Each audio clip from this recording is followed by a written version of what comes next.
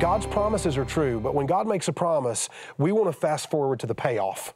That's what we want. We want the payoff. I want the streets of gold. I want resurrection. I want health and wealth and prosperity. But when God makes a promise, before we can get to the payoff, we have to go through this thing called the process. And the process is filled with pain. But the process is the point.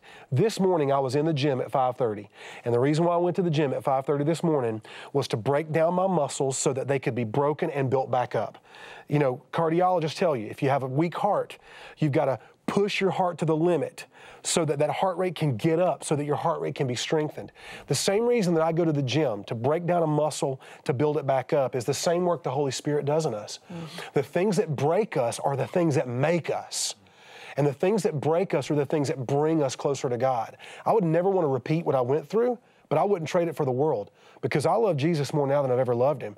Because I used to I used to pray because I was supposed to. Now I pray for survival. Mm-hmm. And I realized that Jesus to me became real in my brokenness and my weakness because we don't realize Jesus is all we need until Jesus is all we have.